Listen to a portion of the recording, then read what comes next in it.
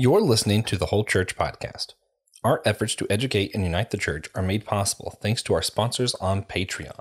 Please consider joining them for $3 a month, where you can get a special 60% discount on our upcoming convention and hang out with us in person. We look forward to seeing you.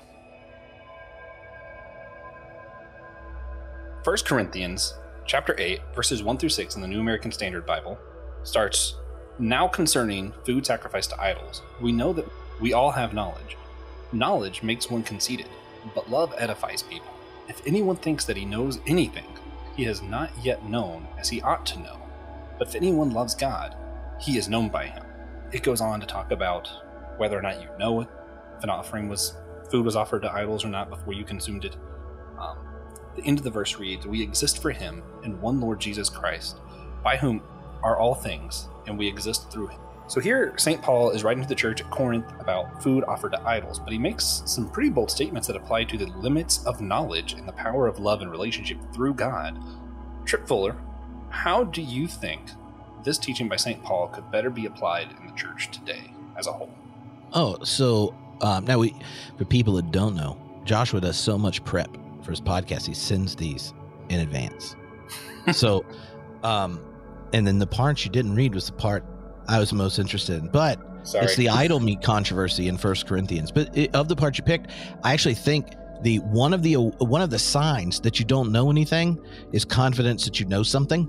Um, and it's not because there's not more knowledge to gain. I think it's that when talking about the divine, the ultimate mystery, uh, the the closer one is to participating in the divine life, the clearer one is um, about the unfathomable depths of the divine mystery, and and and I think that I mean you can see it in concepts like humility and all that kind of thing, but it it's it's fascinating that that is his setup uh, is an affirmation of the limits of knowledge, and to claim it is ultimately problematic for at the end unity in in Christ, and then the issue he's dealing with uh, there is idol meat and you know, it's kind of fascinating because certain people in the church and in different parts that paul writes letters to there's different kind of ethnic cultural religious situations uh, taking place. So one of the ongoing um, debates in uh, kind of especially the part of the early church that identified with paul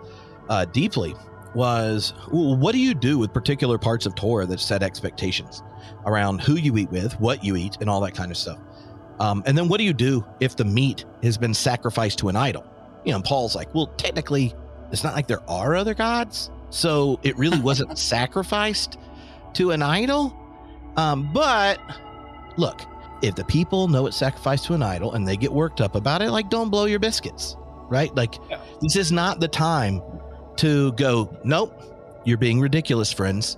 There absolutely are no idols. Watch me eat the idol meat. And then the other person's like, well, yeah, we know the true God, but they sacrificed it to an idol. We know that's unclean. Haven't you read Leviticus? You're breaking the, you know, and you could just imagine this fight. And both of them have some version of, I, this is non negotiable to me.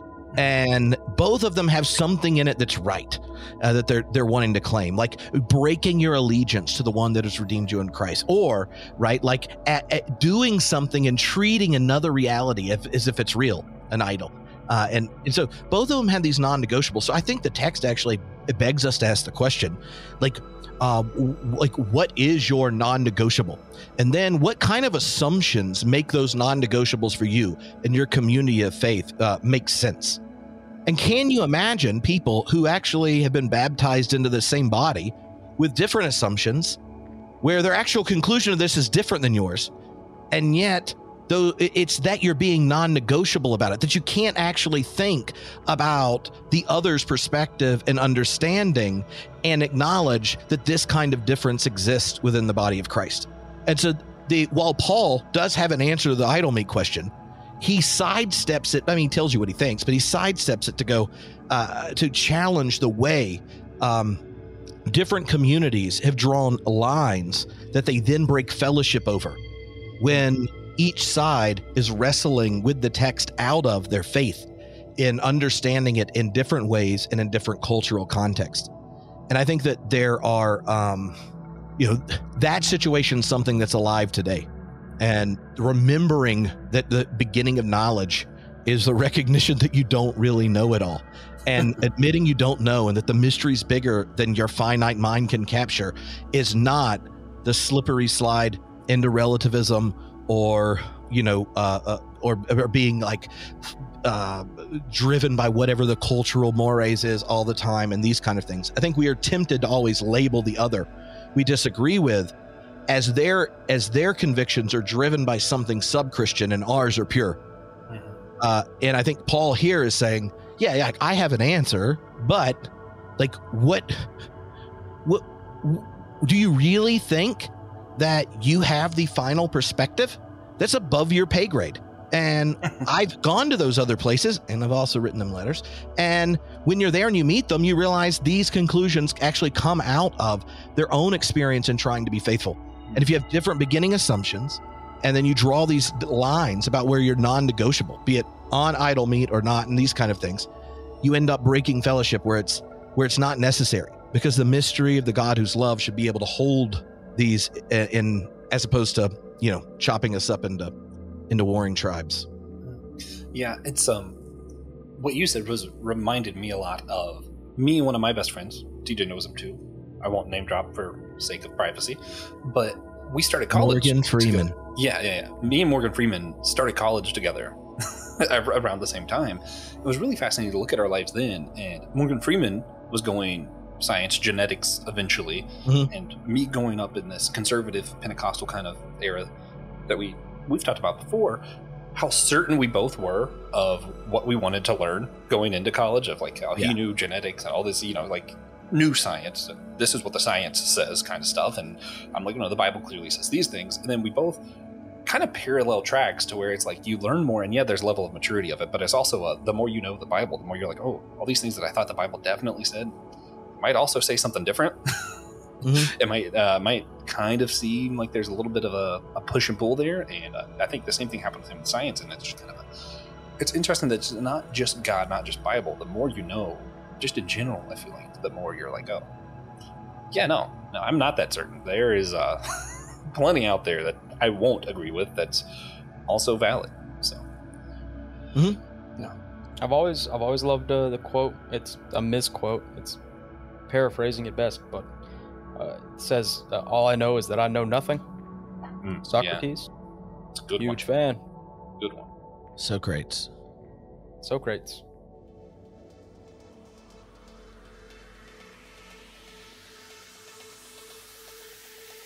Hey, everybody, welcome to the Whole Church Podcast.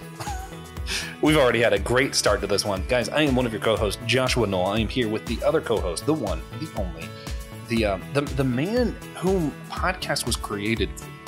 You know, we, we weren't really sure if, if we wanted podcasts to exist or not, anything like that. Then TJ came along, we heard his voice, Tiberius Juan, and the Lord said, Let there be podcast. Yes. Yeah. Indeed. Yes. Mm-hmm. and we're yeah. also I definitely have a great, easy on the ears voice. Yeah, I've heard that my whole life. Yeah, I I'm just concerned when he's going to start ASMR, but we're also joined by one of the the to me podcast legends of of our time. Uh, someone I, I love his show, love his work, his theology. Great guy to talk to. The one and only uh, Tripp Fuller. Tripp, do you prefer Doctor Tripp Fuller or is it just Tripp? No, as long as long as you like let people know I have a PhD, oh, so they hesitate uh, like thirty extra seconds before dismissing me as a heretic. That's great. Okay, perfect, perfect. PH, I have PhD in uh, philosophical theology. Did a postdoc in religion science at the University of Edinburgh, and also ba- ordained Baptist minister. And um, yeah, you know. yeah, host of Homebrewed Christianity, um, beer camp, beer theology, beer camp. I don't. I just. I That's where we met. Yeah, Will Rose, who yeah. uh, was our uh, our matchmaker. Yeah, yeah, perfect. He's been on before. People know Will Rose. Yeah, yeah. Will's cool. PhD, Tripp, Thelonious, Zebulon Fuller. Mm-hmm. Yeah, that's absolutely accurate. Um, today we're going to be talking some about his podcast homebrew christianity. We're going to be talking some about can christians drink or not but mostly we're going to be sitting in um, in, in your show you've mentioned a couple different times the difference of protestantism and evangelicalism. And that's something i'm really interested in because a lot of evangelicals you know i grew up evangelical just assume if you're protestant you are evangelical. So interested to get into that conversation of how you can be Protestant and not evangelical. What does that look like? And how do we have Christian unity with one another? So, be a fun Mm-hmm. episode. Yeah, and check out our convention's website. We have one now. It's in the description below. Use the code WHOLE for 40% off at checkout. You can get 60% off if you join our Patreon, but we'd love for you to be there. We're going to have a lot of cool activities. Shama Marema of Veggie Tales fame, not the show, the song. Maybe you've heard it, maybe you haven't. You've probably heard the Chick fil A song, not Kanye West. Shama Marema will be there. Also, Eric Nevins, head of the Christian Podcasting Association. We're going to have a lot of cards, a lot of games, a lot of card games. A bunch of local food trucks are going to be there, local to Charlotte, not local to where you are. Sorry. Maybe you can work that out. Uh, Yeah. Pop culture discussions, things like that. We're nerds. If you've listened to Systematic Geekology, you probably know that. If you haven't, check it out. Also, Yeah. you can join our questions and answers Discord channel, uh, one of the bonus segments we do, if you join our Patreon. So I highly recommend it. Yeah, yeah. It's gonna it's a fun time over there too. We also, if half the time, if you ask us a question, we'll probably just message it to someone like like Tripp, like, hey Tripp, uh, someone asked us something you said. I don't know the answer, so Well, Yeah. Well, I'll see how many if I can get you to get extra questions sent.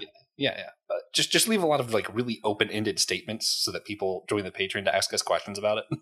Well, I mean, if you got a, you sent me that list of questions, you're like, you get one sentence, Oh, and I was like, I started looking at, it, I was like, nah, I'll just wait and see what the Holy Ghost says because That's what I do. Well, we And know I- you do. Uh, people don't know that we can see videos while these are being recorded, and I don't know how Joshua podcasts with someone that actually has a halo um, over their headways podcasting. Uh, we're just we're just gonna just stack on the TJ lore this episode. yeah, yeah. In the We're Discord, someone should So ask.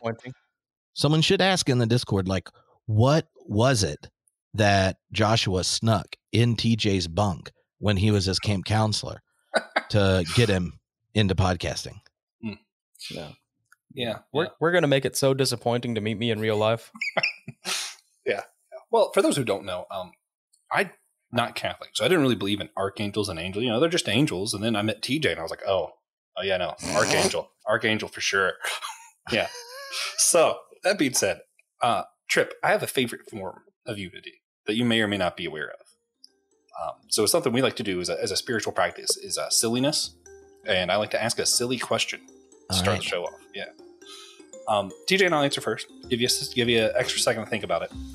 In fact, TJ's going to answer very first. TJ, if you could put Kangaroo Jack in any other film, just to see what he would do, which film would you add Kangaroo Jack to? There are so many hilarious answers to this question. That's yeah, true.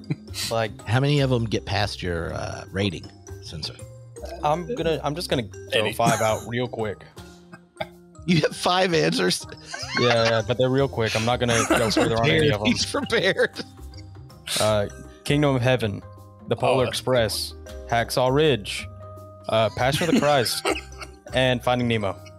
I think Passion of the Christ might just be the right answer. God, that's Oh, hilarious.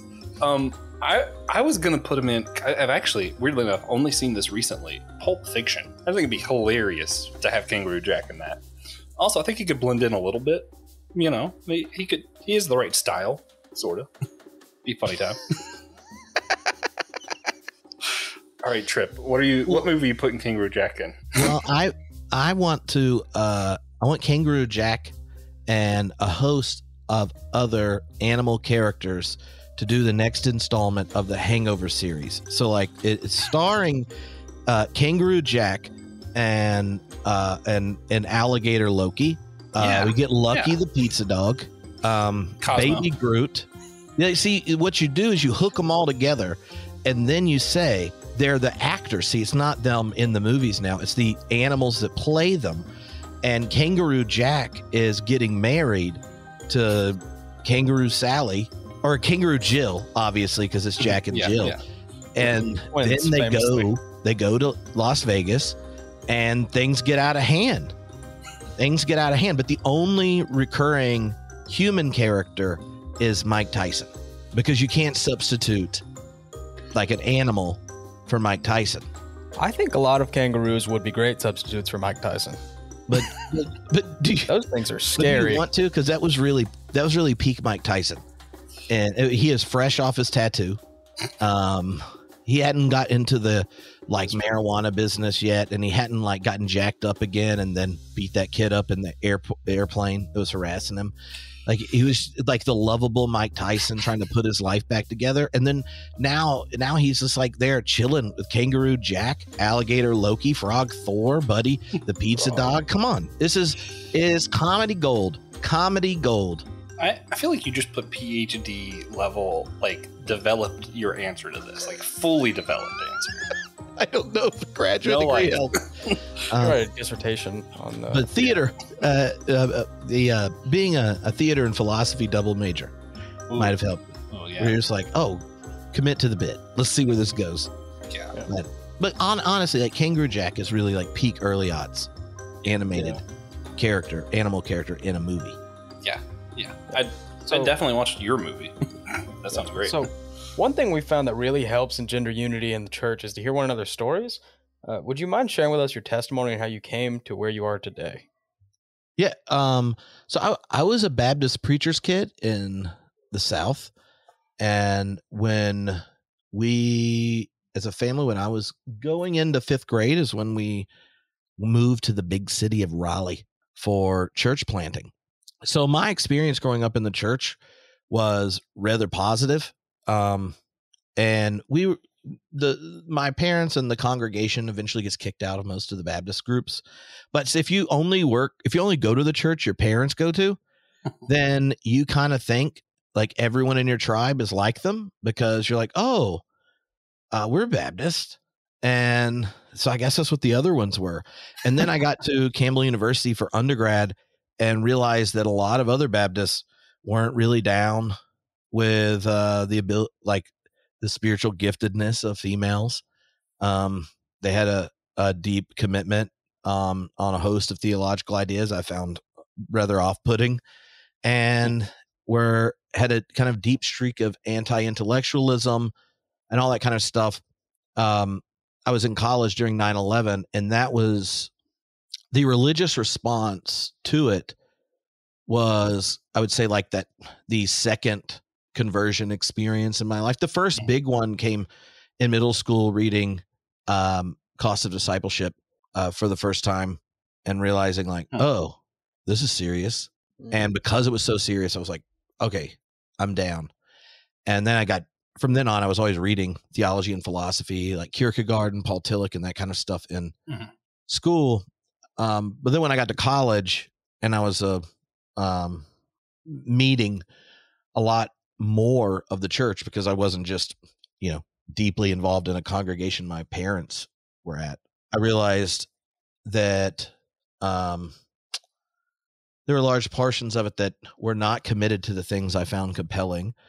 Um, like my congregation, where, where I was at, was like we were part of running the Baptist AIDS Partnership in North Carolina. So I grew up and knew lots of people with HIV/AIDS and the diversity of people uh, who ended up getting it at a time where the congregations generally shunned them uh, when it was a death sentence.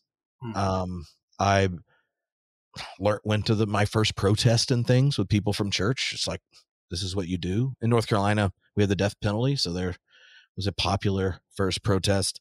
And then after uh, the invasion of Iraq, uh, I guess tangentially related theoretically to uh, 9-11, and you have the biggest peace protest at that point in the globe.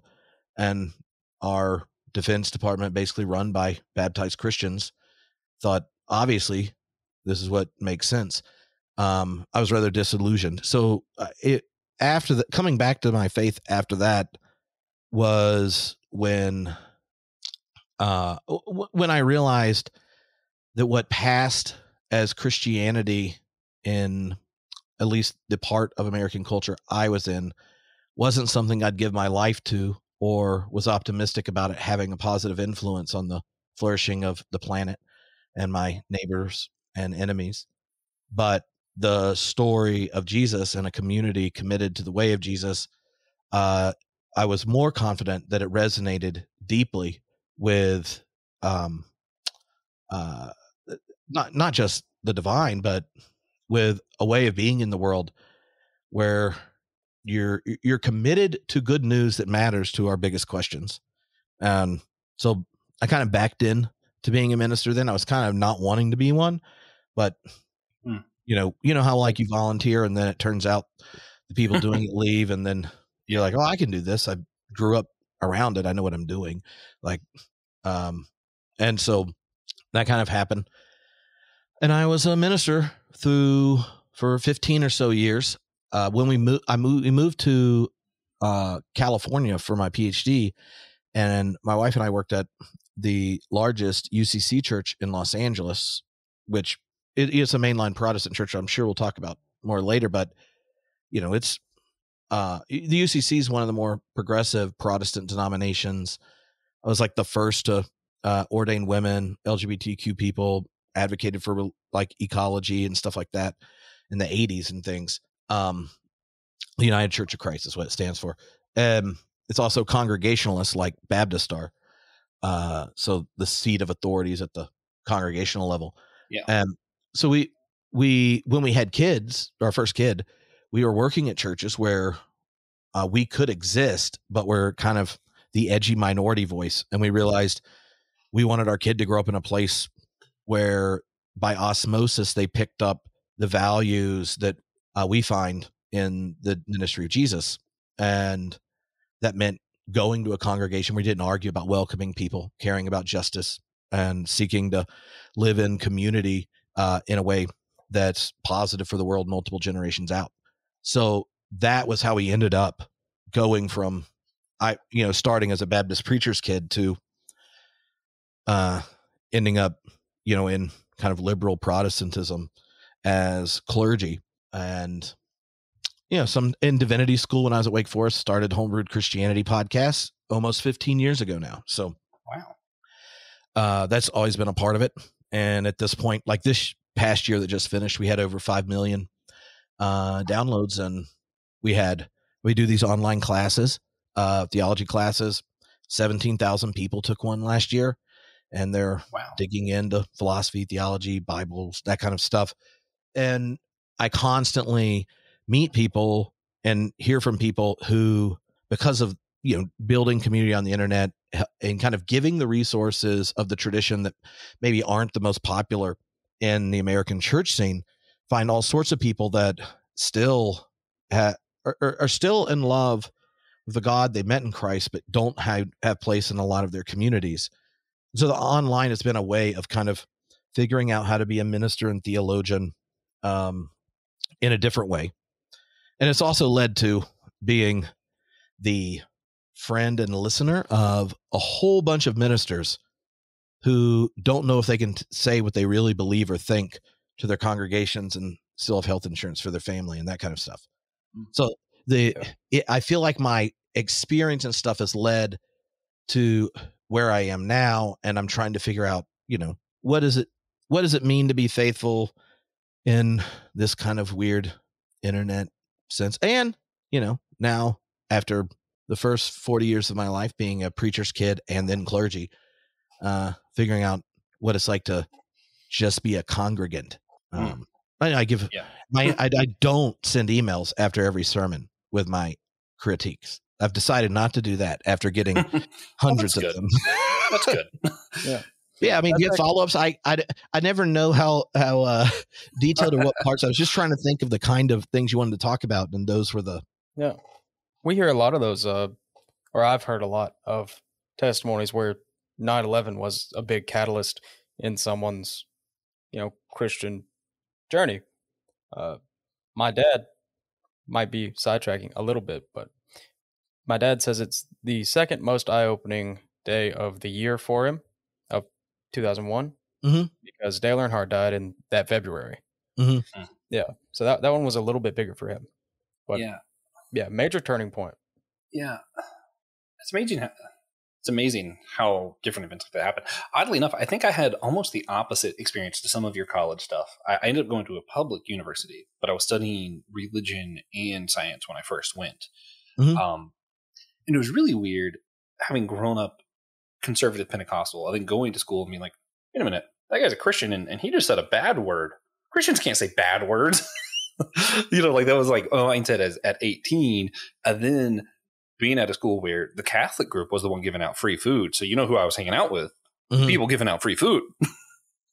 so, you know, I ended up with there and then I ended up going to a Baptist college after that. So I've experienced all these different things in college. And then we started doing this podcast because it was like unity. And then once you start talking about unity, the you open a whole huge can of worms where I'm like, wait a minute, there, there are people who believe what now?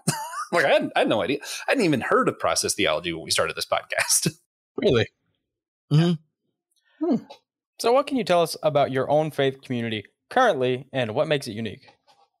Oh well, um, we moved. My family moved back to the states at the end of the summer, so we're new to uh, the church. It's a Alliance of Baptist Church in Greensboro, but oddly enough, when I was in divinity school, I was campus minister at UNCG, and they have the same senior ministers back then. um, but the associate ministers are all new. One of whom was a friend of mine in undergrad, and uh, then she also went to divinity school at Wake Forest University's Div School.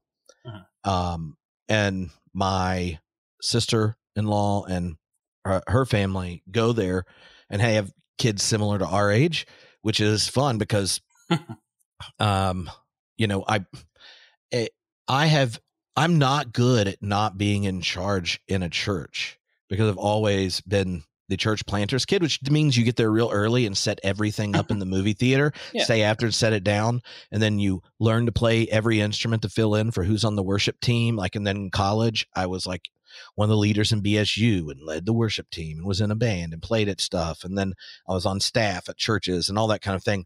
So I like the, the, the interesting thing, I guess, at this point is, um, uh, seeing just how I wish I wish I had spent a few years on the other side before I was a minister. I probably would have done a few things differently.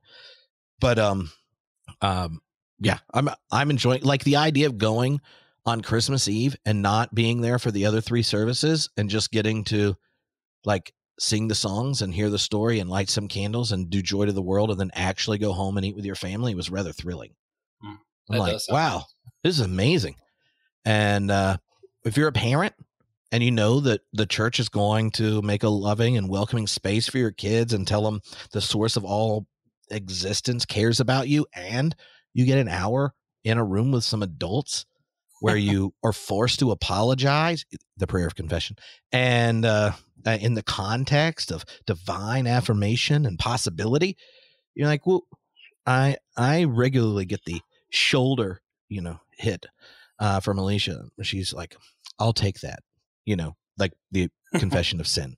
She's like, I've been waiting for you to say you're sorry. that, that'll work. It's a, funny. it's, it's just a real different, um, it's a real different experience and I'm in, I'm enjoying it, but because of all the stuff online, I guest preach and stuff pretty regularly. So, yeah. um, but in the local congregation, it's, I'm enjoying it. Nice, nice. Yeah, it's um the different communities that you encounter in some of the different churches and stuff. It's just it's fascinating. I still love the community that I grew up in, the conservative Pentecostal church my parents go to. I love all those people. They're great people. Hmm. But encountering different communities that I kind of feel like I fit in a little bit better when, you know, I met Pastor Will, heard more mm-hmm. about some of the Lutheran churches, kind of interacting more there and with some of the online community I met through you. And I'm like, yeah, these these guys are a little bit more my speed, just as far as like honestly, just as far as like having a conversation, like I enjoy yeah. these conversations more than listening to someone talk personally. Um, but you mentioned your show before, we talked about it a little bit. There is some controversy around beer and drinking, that kind of stuff. And some parts of the church, especially some of the people who listen to our show, was a little bit more conservative, grew up Baptist, Pentecostal, all that. Like, you know, mm-hmm. the church I attended growing up, I know some of them listen. Um, and at the beginning, we read the verse, and you were talking about these non negotiables that people hold on to, that we make a lot of assumptions about, and we draw a line. And I find it really interesting that you brought that up because of how it applies to this question of when people bring up, oh, you can't drink and be a Christian, you know, the appearance of evil, the stumbling block for someone else, addiction, you know, whatever else they bring up. How do you address that, knowing that for them, this is a non negotiable line that you have crossed? You know what I mean? Yeah, I mean, uh, well, I would just say like like almost anything, don't be dumb. is an important rule. Hmm, So, yes. um, i- in and uh, I have some people in my extended family who feel that way, and in their mind, the like they are pretty sure Satan lives in the bottle, right? So, I'm like, w- w- no, I mean, I I guess like there you could say like in the power of sin that corrupts people that are addicted and the harm and stuff that comes from it, but um, that's also true about uh, you know mammon I don't know. That was like literally an either or. You can love God or mammon. And I regularly get told, "Oh, you can't drink and be a Christian" by someone who's an ardent capitalist. So it's like I, I like I'm always like that's interesting. Um, but the it it also is just weird. Like what is actually in the text in Scripture is like plenty of people drinking, including Jesus, and uh, so like it just requires you like if if touching alcohol whatsoever is a problem it just means you don't care what was actually written by the authors of scripture because jesus made wine first miracle in the gospel of john for people who Well, that was drank grape juice. they ran out but see it's not right? And that's what i'm saying like you can say that it's just only people after they've moralized drinking as a source of the demonic in american evangelicalism ever thought that wasn't alcoholic. Like all the early church fathers when they talk about it it's definitely wine. Throughout the medieval period definitely wine. The people that invented protestantism um you know martin luther um the anglican church like, like it always is. So it's uh, and it only exists right in america. So there's a fun historical reason why that is but like i was speaking at a i was the most progressive person in the room gathering of very evangelical germans and they're like fundamentalist baptists there. They all still drink. Mhm. you know why? Because they weren't in america. The uh but if you know the history of alcohol in america it started to get abused by the poor working class in the late 18th and early 19th century. And the social gospel movement which was the baptist predominantly organized christian socialist movement where we got uh minimum wage uh 40 hour work week paid vacation in child labor law these kind of things as the result like walter rauschenbusch these people. One of the important parts of the social gospel movement was prohibition and and part of it was because people in factories were being worked to their body in pain intense pain. And when you have been abused in the workspace and get home what numbs the pain was alcohol. And then people that are bearing the burden of of an, an exploitative economic system uh, then numb their pain with alcohol and beat their kids and wives. And so part of the social gospel movement in in uh, American Christianity was the prohibition of alcohol and the demonizing of it. Now, if it if its experience was uh, part of uh, if if if that if that interpretation is connected to abuse of children and your family, then yeah, don't do it. But it's like it's not like what's in the text. And the other thing I would just say, if you ask what happens in practice in most of these denominations, as someone who has spoken at almost every denomination in America's pastor gatherings at some point, there's even if they're officially against it, I get emails before about how I'm going to go out with the half of the clergy that do drink. And they regularly don't drink in their town or never other people are around. They all mm-hmm. hide it and stuff. So the the Yep. it, it's just a weird thing to fall to jump on, right? It- Jesus is like very clear on a few issues that we do not have non-negotiables over. And then uh, um, each culture and tribe finds different ones. And so i think we're actually better off uh, helping people think about healthy ways of practicing and engaging in all sorts of things. Like um, i found out after i got married at 20 so you know i'm uh, that everyone in my accountability partner in my accountability group lied. They actually all had premarital sex i'm like come on you know years later they're all like Yeah. it did. I'm like yeah, we were in an accountability group. I got married at 20 and i i saved myself you know and so like in practice people do all sorts of things but if they think this uh of voicing some uh ethical norm uh it, it functions as like a master signifier for what my tribe is and you'll be committed to the norm regardless of your prog like your actual status and i think drinking functions as that way for some people which is actually why um uh, when my buddy Chad and I, when we started the podcast, we were in divin- divinity school, and we found they had like translated and unearthed um, the some of the beer recipes that uh, Luther Luther his really his wife was the main person that brewed. Uh, where they turned some monastery uh, monasteries into breweries, like some of the recipes, and we were going to br- brew them. Um, and uh, in the whole idea of it was the the the evangelical industrial complex and how it functions for boundary maintenance. We'll pick these different things. So when you use a beer metaphor, it actually gives people permission to know that they don't have to perform the expectations that are in that community. So, um, let's say, uh, here, here's a good example. I was doing a, and when I was in Los Angeles, I did live podcasts once a month at different breweries in LA. And, mm-hmm. you know, depending on the size of the brewery, there'll be like 60 to 100 people buy tickets and come. And, um, I mean, you went to beer camp. It's like a late night show with, uh, so there's like music and communal singing mm-hmm. and uh, uh, it opens with a basically a stand-up routine theology talk interview with some scholar and all that kind of thing but you buy a ticket so it's technically not a church service so all these people with religious baggage would come and um, i was doing it one time and uh, i realized these four different guys all knew each other and didn't were shocked that they got caught at the same yeah. gathering together they all were friends they all been coming. They were all uh, ministers uh, in the Evangelical Free Church, uh, and turns out they all listen to the podcast. They all connected. They all knew each other. I'm, oh, how'd you know each other? I knew a couple of them. Oh, yeah, mm-hmm. yeah. We didn't know each other. Listen to the podcast. Well, what did that mean? They actually had co ministers they work with on a regular basis in the same city. They had these same big questions. These four are ministers at churches over 2,000, one over 10,000 all four of them had changed their minds uh, theologically about same sex relations. And all of them are tr- so scared to be honest with their congregation and how you how you would communicate it, how you'd bring people along. And they all thought the other ones still believed what the other ones thought they believed, and they would all get fired if they were found out. And then they are they're sitting at a brewery where they've thought I'm allowed to have these questions and ask these questions and have these feelings and blah blah blah blah blah. And uh, and then there they are. And all of a sudden they had friends and allies where they could be honest again and then think about their task as ministers. And so you know, one of the perks, I think, of what was a you know a sideways metaphor, like, oh well let's let's go, let's have a podcast and we named it that because we were trying to homebrew Luther's recipes.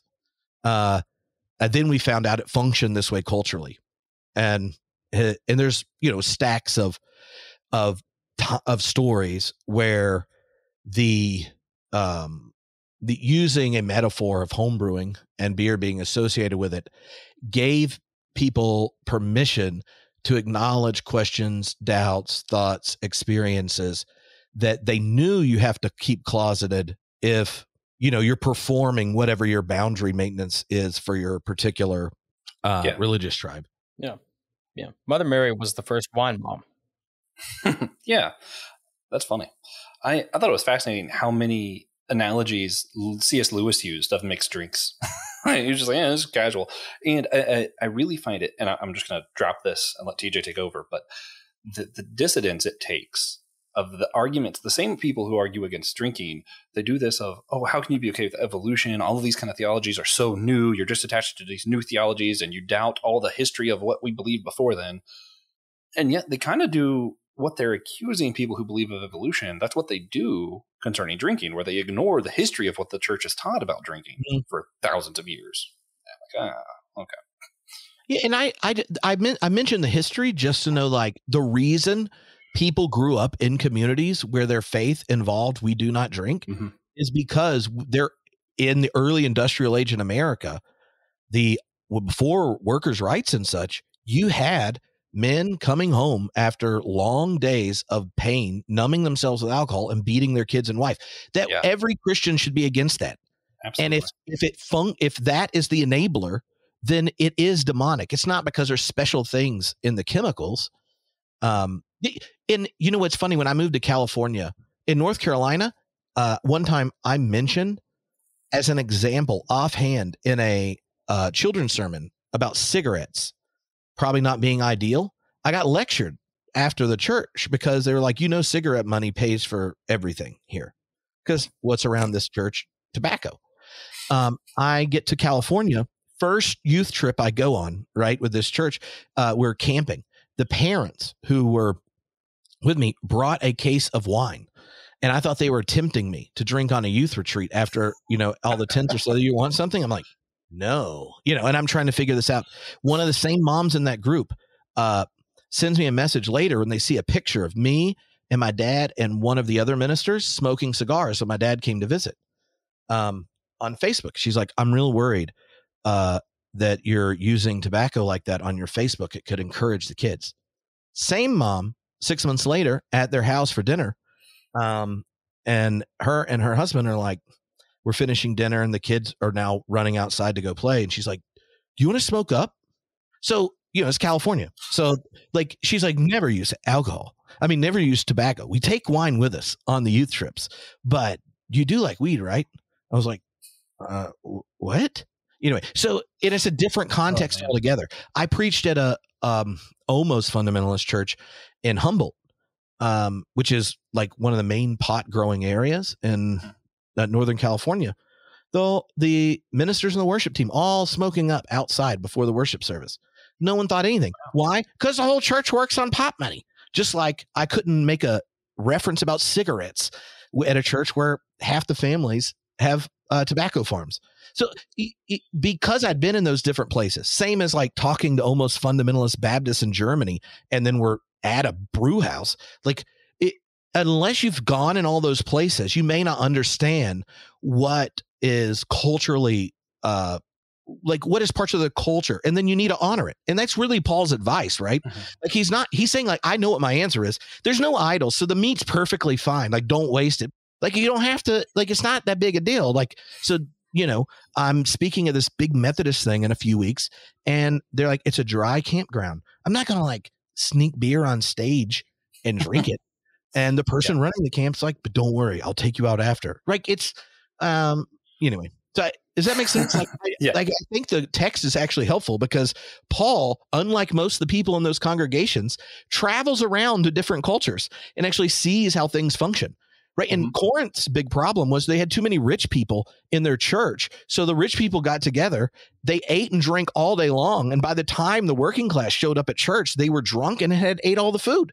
And he's like, you can't do this until the people actually have real jobs get there. That you can't call that celebrating the table of Christ when the ones actually need the food get there. And y'all been going to Pound Town all day right? And he's like, and if you want to handle this, I need you to donate more money to the collection for the church in Jerusalem. You know, from mm-hmm. Peter, James, Jesus' brother, and such, who are actually yeah. sending missionaries behind Paul to tell them that he didn't fully convert them because they need to get snipped and, uh, mm-hmm.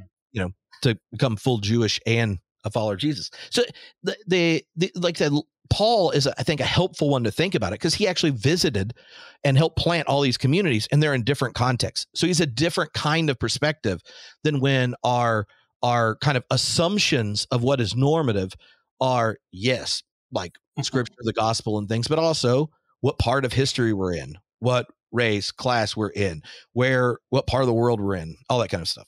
Yeah. Yeah. All right. So, one thing that we like to do to get our help our audience get to know our guest a little bit better is our speed round segment. Uh, we're just going to ask you a series of questions. The only rule is that you have to answer in a single sentence, and the only rule for us is that we cannot ask any follow up questions. Do you think you're up for this? I made it extra challenging for him too. okay, you did. That's yeah. true. Well, yeah. since you don't get follow ups, and I, I feel like I'm I'm trying to leave as many questions on your Discord as possible. Perfect. Perfect. Yeah, all open ended answers. all right. You ready? All right. Who or what is God? Um, the three declarative sentences of Scripture I affirm, semicolon, God is love, God is truth, and God is spirit. What is salvation? Salvation is the process by which God's intentions and dreams to the world are made material in the life of all of God's creation. What is the significance of incarnation? The incarnation is the decision for God to. Uh, the incarnation uh, is the event that symbolizes God's refusal to be God without us. What is the significance of baptism and the Eucharist? Well, see, those are two different things. Shouldn't I get a sentence for bab- baptism? No. is is the church's proclamation that before you could speak and before you had a name god knew your face and cares and that your most true identity is as the beloved of god the eucharist is the regular invitation to remember your own god belovedness and be nourished by that love for the living out of that love in your life What authority does Scripture have? What authority does it have? Uh, scripture's authority is based on the faithful testimony of the people of Israel and the early church to the God who brought Israel out of slavery and raised Jesus from the dead. Hmm. What authority does tradition have? Tradition is the community, uh, or the tradition. Uh, tradition's authority is the community of those whose experience of God is mediated by Jesus. Oh, let's see. How would I make that sense? Uh, let's see. The, the tradition is a set of questions that those whose experience of God is mediated by Jesus have continued to ask. And as a uh, tradition, it gives us both dignities and disasters that we inherit, revision, and pass on in love. Hmm. What are your views on destiny or predestination? Um, destiny or pre? Um, well, I said earlier, God has refused to be God without us, and the God of love has refused to coerce us because love is required for genuine, or freedom is required for genuine love. So, what is destined is the infinite God of love's faithfulness, but not a particular destination, because our cooperation in response to God cannot be determined and freedom be preserved. Hmm. Can God change? Yes, that's because it says so in the Bible. What do you love about the Bible? My favorite parts of this uh, of the Bible are the narratives and the Psalms. How do we relate to God? Uh, moment to moment, each of us are met with the possibilities or the grace of God, and we get to respond consciously or unconsciously uh, to the gift of the new moment to moment. How many of the seven sacraments do you or your church hold to, and which ones? Well, the Free Church definitely focuses on the Protestant too. I mean, I know the Lutherans get the halfsies, but um, but yeah, uh, baptism and the Eucharist.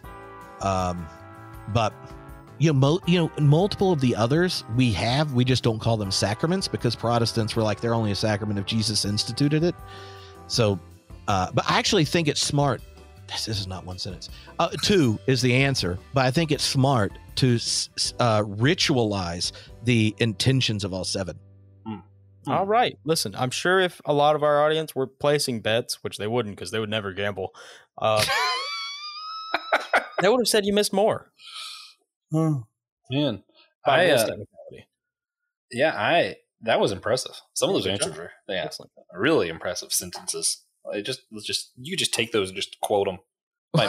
Make a whole Instagram post. Um, so Tripp, you mentioned on your show, and I talked about it earlier, the difference of being evangelical and being Protestant. Could you just go ahead and unpack that? Just go wild. Oh yeah, well, so if I if it's the one I think you were talking about, um, this is a conversation that uh, Ryan Burge, who's a sociologist of religion, and I have kept picking up. And part of it is because you know even the label evangelical means something in different places, right? In Germany, evangelical just means Protestant. Um, there's Catholic faculty at a divinity school and the evangelical faculty, and in the evangelical factor, fac- faculty, you would have every part of the theological spectrum. It just means they're Protestant, and the evangel that's what evangelical means there. Um, in America, the idea of saying Protestant really came about because uh, one, the public square uh, tends to make normative uh, conservative white evangelicalism for as the only kind of really expression of Christianity in um, in or Protestant Christianity in America, and so uh, the but numerically there's about as many um, mainline Protestants or, uh, as there are evangelicals, um, and so the it was like how do you distinguish between the two? The desire to to use the word Protestant in part is uh, the word evangelical has switched from primarily being a religious identification to a political one, right? So if you do big uh, studies, you'll have people of every other religion Muslims, Jews, Hindus, Buddhists identifying as evangelical Hindus, Buddhists, Muslims, Jews. And that's because they know the word evangelical right now has come to mean in the public square basically like Trumpistan. Uh, and uh, and if you look at the uh, surveying of those who identify as evangelical, the percentage chance they actually go to church has gone down dramatically. Now, has the number of people that identifies evangelical still identifies evangelical that went to church dropped? Not exactly. Um, they aren't keeping their children as much, but um, like if you were a boomer and were an evangelical that went to church, you tend to still go. It's just now you have a lot of your friends who are also boomers and older who uh, are well, and we mean white uh, evangelicals who use the label who are evangelical now, even though they don't really go to church. They just know that this is part of the the labels we use to identify ourselves. Um, and you know, there was a time where the evangelical meant something explicitly theologically, but you know, if you took the you know, there's three or four big definitions of evangelicalism at the end of the 20th century, um, and you just went and who who believed it, um, you'd large portions of the black church would pass the evangelical theological test and uh, they would not have a non-negotiable at even you know thinking how could you even be an evangelical christian and you know vote for barack obama how could you even do that well what was the difference between the white church where that has become more and more normative all the way to donald trump and company versus uh, a black church that still believes all the same theological things and is like, what? You you're asking me how? How I could not vote for that guy? So uh over time in the data as to and this is this is not a theological statement. It's just here's how our public square functions. Evangelical has been has turned into something that's primarily an an uh, political identity first, and then a religious one. And it is an identity. With its political identity is only true for its uh, you know, at least in a predominant way with its uh, with white Americans who are evangelical, because it's not the case uh, for uh, people of color that believe the same thing. So, in hopes to go, um, these kind that your political identity is so tied to your theological commitments, and they obviously make sense to break with it. The idea was to use the word Protestant, like it used to use mainline Protestant when the kind of the dominant uh, Protestant uh, churches in America were like United Methodist, United Church of Christ, the Episcopal Church, um, the Lutherans. These kind of denominations were the biggest until um, a large number of people left them because they took stands for integration of the schools, against Vietnam, um, support of the civil rights movement, these kind of things. When those which were the dominant religious groups in white religion in America, took certain ethical stands. Then those group, those people that were like, no basket. I don't care if I don't, I don't care what, what our leaders are saying about these issues. Um, I'm more of an American or I'm more of, you know, a free marketeer than I am, you know, listening to our ethicists. Then, um, you get the emergence of, of evangelicalism. And then over time, it became more and more of a political identity. And so, like, in lieu of going, oh, I'm Lutheran or I'm Methodist or I'm UCC or I'm that other kind of Baptist that's mainline or whatever, using the phrase Protestant, um, I think is helpful because all of those churches, uh, like your Christian identity is centered like Protestants always have on wrestling uh, with scripture, uh, the practice of baptism and the Eucharist and fidelity to that wrestling and those practices um, is uh, consistently in those denominations uh, something that doesn't you know obligate you to the kind of you know current expression of politics that dominates the religious right. And uh and i think because when mainline protestantism think 1950 was peak right? And you had its theologians on time magazine and this kind of thing uh then the product the primary way you understood your religious identity was within a denomination. And, and you're eh, a lot of them at that point you're only two or three generations from being new americans. So like if you go there's lots of lutherans in in minnesota. Why? Well guess who moved there? Uh, there were a lot of norwegians right? So the but as you became more american as we started to move more and where you came from in the old world in scare quotes uh, didn't determine so much about your uh, particular denomination where you lived and that kind of thing um, there the differences between the two tend to really matter for clergy, right? Who have particular opinions about the Eucharist or something we all fought about in the 17th century as versions of Protestants. Um, but I think in the public square today, it's a lot, it's more helpful to, to use a marker that identifies a rather large portion of the country who have uh, deep religious commitments. And it's not what is regularly recognized um, there. Does that does that make sense? I no, that makes perfect sense. And one of the more fascinating things to me over the last couple years, uh, Barna and a couple other your you know church statistics groups did the studies, asked people questions, and found that the Black evangelical church is the one that knows the Bible the most, reads mm-hmm. their Bible the most, preaches from the Bible the most, and yet they don't vote at all how we typically think of people voting when you say evangelical. Yeah. So, yeah, I think it was really interesting. Yeah, and and I don't think that actually means necessarily there I I don't I think I'm right obviously, but I don't think it's I don't think that means if you don't agree with me, you have to uh, you know, it, the implicit bit of it isn't everyone that disagrees with me is really an ignoramus racist. Um, yeah.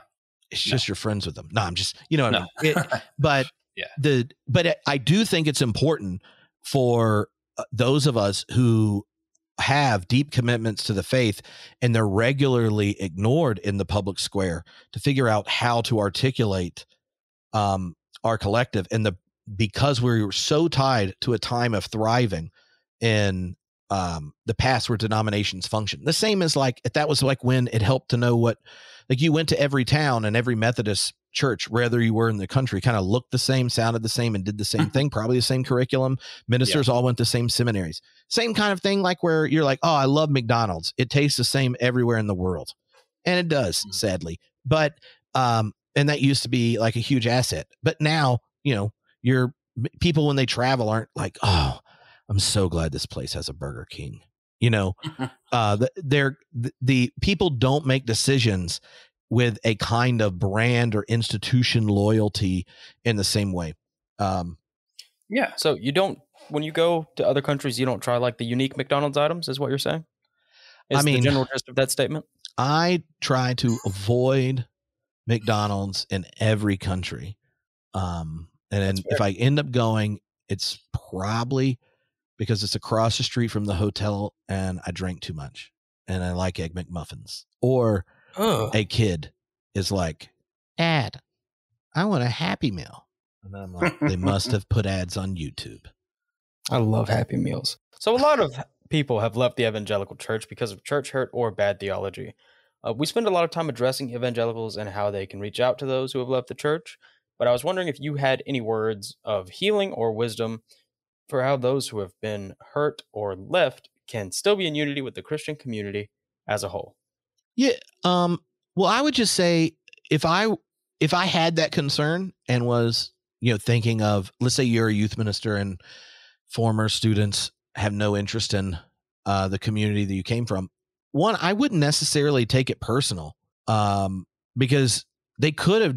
It, it may not have been about you, and I think a lot of parents, grandparents, leaders in church take someone leaving or going a different direction stuff personally as if it was a failure, but you don't know. And they're only where they are at that moment. Who knows where they'll be in the future? But so much of engagement, if if your assumption is uh like they left because of something that's about me or something I think is, you know, uh, required for their, you know, to them to avoid eternal conscious torment and or anything like that, then you're the way you relate to those individuals uh, probably not going to be received great.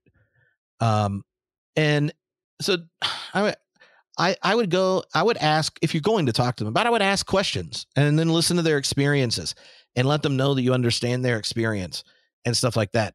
Uh, and I would do that multiple times before you decide to speak into it or tell them what you think. Um, they probably left because they did a good job picking up what your community was communicating um, or what it was not communicating about. Right. So, uh, the one element I would think is that unity requires recognition of the other in their difference.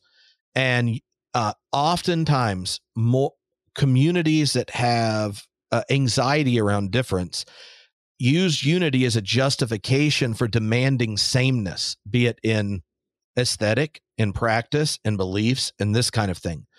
Um, and just like the passage at the front, I think Paul is trying to generate a kind of unity in the church where there are different answers to these different questions. And he's collecting money from this congregation for another part of the church that doesn't think he's good enough, um, and that kind of thing. Uh, the, the other part I would say is that silence um, is also a form of communication. And when we're silent around things, which are often the reasons people say they leave, and some of them could be theological reasons, but often at this point uh, in the current mass exodus, so much of it is the, the church's silence around ethical issues um, that recognizing that silence does empower and it, silence empowers the dominant assumptions of a tribe. And so like the you know the four ministers who showed up at a podcast at they're all friends but didn't know the other one even listened or that the other one had changed their mind on lgbtq issues um that con- that group uh a few months later we were after that had an email exchange uh one of the congregation's ministers had a teenager commit suicide after they came out to their parents and the parents said what I assume they they actually thought the minister believed about that. And then the minister is sharing the story and he's like, I've spent the last three years trying to slowly open up this conversation. And I know I've never said anything that supported uh, divine sanction around homophobia. Like, you know, he's like, if whether or not you believe with him, he's being intentional, right? About trying to slowly do this and that. Well, because of the context, his silence, even though he never personally said it, but they know what tribe he's in, an evangelical free church, and um, uh, and and that kind of thing. It the silence empowered certain assumptions on that teenager, and the parents performed what was uh, to their child, and they committed suicide. Hmm.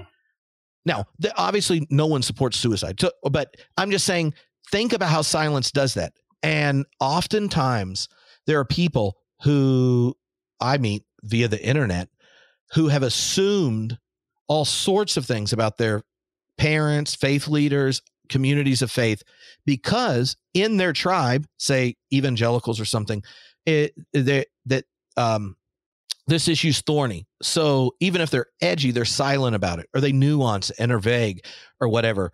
Um, and then the inertia of the tribe takes over. Mm-hmm. Uh, the other thing that's happened around silence of late, um, you know, in a lot of these online groups, I have discussions with a lot of the ministers. In lockdown, so many people spent time on the internet.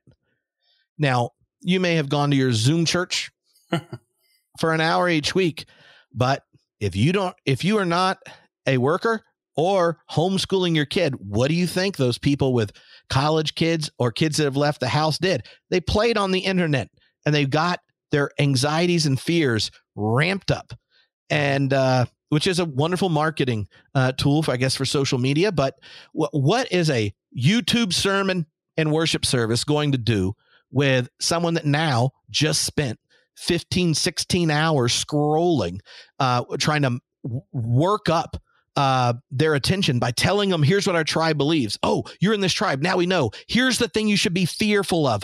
Actually, what is the craziest version of what you just clicked on? We can give you next, right? And it goes over and over. And then, um, then this minister could have been silent on these things or trying to nuance it and stuff. But then you can't counter program if you if people experiences you as part of a tribe when the algorithm takes hold. And there i know so many ministers that have quit or are trying to quit because they got done and they they get back together in person and they realize the community that they were ministering to after the algorithm that amps up anxiety and fear got through with them post covid is not the same place and they couldn't tell the truth and they refused to lead a place where what uh, these these certain convictions they don't have are now uh, being demanded from the congregation. Mm. Um, one of the big shifts in the 2000s, um, if you do if you track surveys of clergy, is it used to be um, in the 90s um, the, the organization uh, for within evangelicalism around political stuff was clergy led and then they are figuring out how to organize and leverage faith communities for political action. Um, after Barack Obama, the shift had switched. Now you have you're you're more likely to have a congregation that is politically more polarized and on the margin politically than their clergy. And this is not just true in evangelical circles. It like depending on your Catholic parish. Um, is it a Jesuit or not? Um, the like you the congregations will get further left or further right, and political identity at this point is now downstream or upstream of religious identity, and it hasn't been that way for a lot of American history. Mm-hmm. So you end up yeah. where this silence and the scaredness of leaders to go like my kid. If you're if you're getting all these emails from your your you know half your deacon board saying, um, you know you're uh you are working with part of the conspiracy to make us wear masks at church, you know, all this kind of stuff. You're scared. You don't want to lose your job and all this kind of thing. Um, so what do you do with that? Like you have to figure out a nuance. You stay silent. So the the it, it, recognizing um, the challenge of of unity in uh, it it I really think we don't we have to take seriously how unity should not be a demand for sameness, and silence can be just as powerful at forming our congregation as what we say explicitly. Mm, and it's yeah. know, yeah. sorry, that was rambly. Oh no, no, no, no! Mm. I agree. That's why uh, when I go buy Hogwarts Legacy at GameStop, I'm going to very loudly and verbally say I do not support hate speech. Mm-hmm. So true.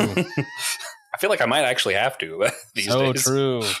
That, well, that's why I'm going to buy it online. Ah, that's a better idea. I might do that. And if you're listening, no, I'm not going to buy it. I'll leave an Amazon comment that says I don't support hate speech while I buy the game. yeah, I'm going to pirate yeah. it actually, but uh, I really I have not missed mask discourse. I had a lady one time ask why I'm wearing my mask at work, and she was like, "They can't force you to wear that," and I was like, "I just." I just don't like the way my front teeth look, lady now it's convenient. Yeah. Sometimes I still wear it into work now that it's winter. Keeps my face warmer, you know?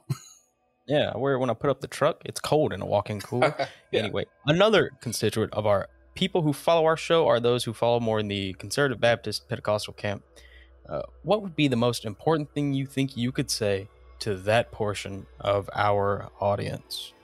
Um, well, uh, two things. One, I would just say when you're talking about other Christians, um, that the church is a lot bigger than your particular tribe. Um, so don't bear false testimony against us. I get these messages quite often.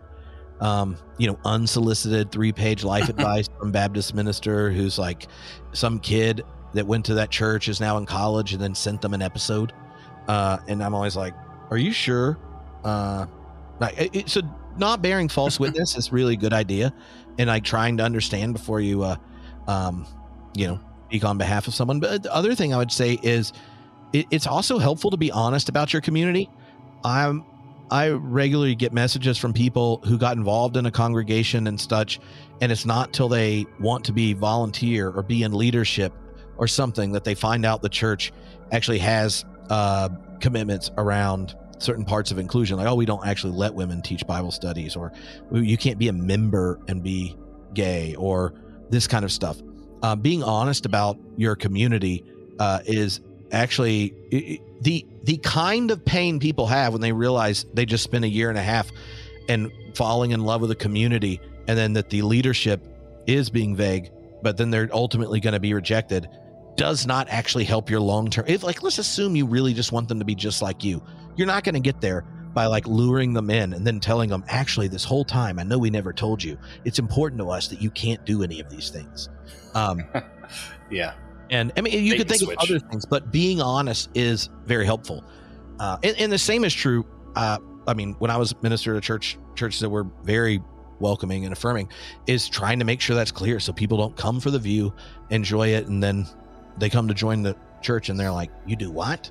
You know? So uh, i just think that that uh, a lot of the the way the seeker sensitive and scare quotes things from the 90s and such is playing out uh, now uh, le- leads to people being culturally ambiguous uh, and people then don't find out until they've actually you know developed relationships Yeah. Yeah. That's actually a problem that we kind of have. because doing a Church Unity podcast, it actually helps to be vague a lot of the times. But then I get all these like texts to different things of why would you let someone so conservative on? And then it's the next week it'll be why is someone so liberal on? And well, you know, I say that I'm mostly conservative evangelical, and I, I kind of show where sometimes I'm not, sometimes I am, but Mhm. the purpose of the show is actually to know what you guys believe and think. So it's kind of it, it's interesting the responses we get because we're a little bit more vague, and we'll invite anyone in the church. This is the whole church podcast, you know. yeah yeah I say nothing personally. so do, does people like message you to see what you believe, and you just don't Never. respond? Okay, so that'd be that'd be really funny. Never. Yeah. I've not gotten a single one. That is that is nice. Yeah. Yeah. I think I feel like if I did less talking, I would get less of those messages. Probably. Yeah. It probably makes sense. I should probably stop. Not right now, though. It's your turn. Fine, fine, fine. Okay, so one thing we like to ask everybody, Tripp, is if you had to give a single tangible action, just something really practical, our listeners could stop this show and just go do it, that would help better maintain unity in the church today, what would it be? um spend less time on uh social media and go hang out with people True. Yeah. Stop listening to podcasts, you weirdo. Listen Well, to I think podcasts those, with your those are a lot better than uh scrolling Oh, okay, yeah. Listen to podcasts on your way to go hang out with people. Yeah Yeah. Yeah. You got a car. So what, Uh, what would be sh- the ramifications if uh, everyone listening did just that? well they would find out that humans are complicated and messy and um and those are the very complicated and messy things that uh, bear the image of god and are worth caring for A little nuance, nice. you know? Very nuanced species here. Mhm. So, before I wrap up, we just ask everyone to share a moment that they saw God in recently, whether that be a blessing, challenge, moment of worship, anything. So, we'll go first. You seem ready, yeah but I always make Josh go first. So, Josh, do you have a God moment for us this week? Yeah, uh, mine, mine's pretty quick and easy. I um was afraid we were going to to not have Disney for a little bit. My uh, debit card, I had to update, get a new card. You know, I was like, hmm, I'm gonna, I'm gonna pay for this. I don't want to go Christmas week without it. I got to watch Christmas movies. You know, good friend DJ just just paid the Disney Plus for this for the month. So that was pretty cool. Good of him. Yeah. yeah, Yeah. love that guy. If he's listening, shout out DJ. You know. I promise he's not. yeah, fair enough.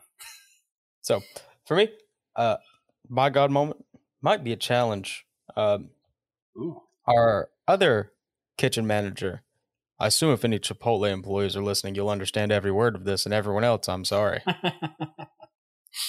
Uh, our other kitchen manager quit, and there are only two other managers really right now. So I'm going to be working a lot more. he was already working too much. Yeah. Hmm. So May God give you strength. Philippians four thirteen, right? That's Yeah. in context.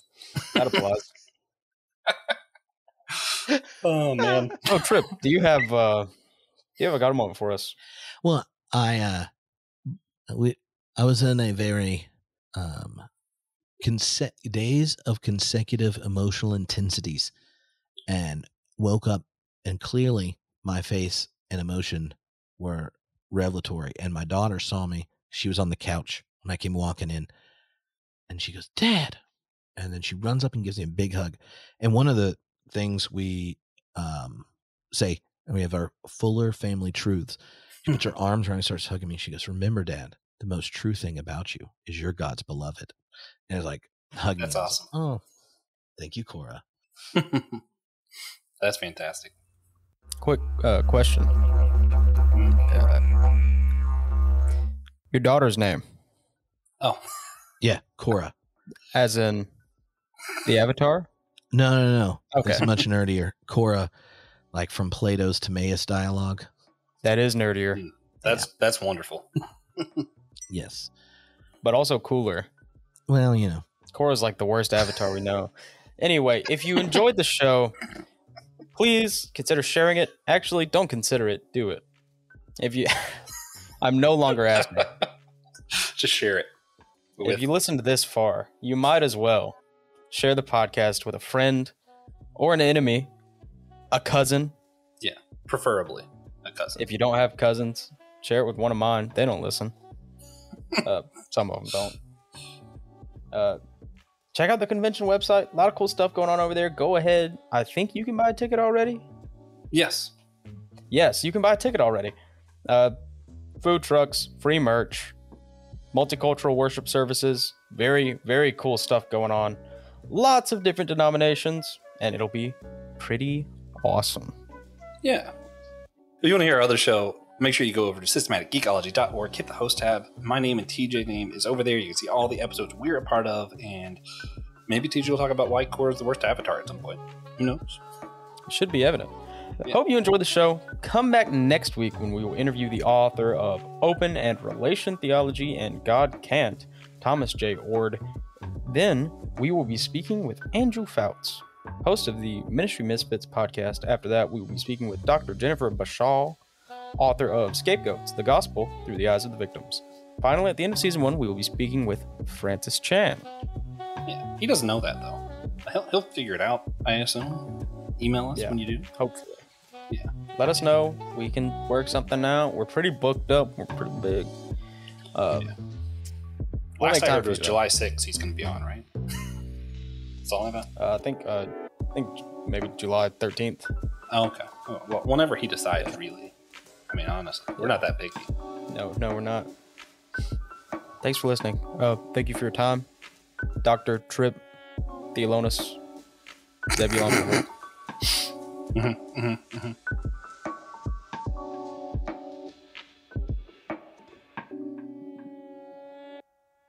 Thank you for listening to the Whole Church Podcast. Tune back in next week. We'll be interviewing Thomas J. Oord, the author of God Can't and Open and Relational Theology. And remember, you can always sponsor our show on Patreon for $3 a month and get a 60% discount on our upcoming convention to come hang out with us. We look forward to seeing you.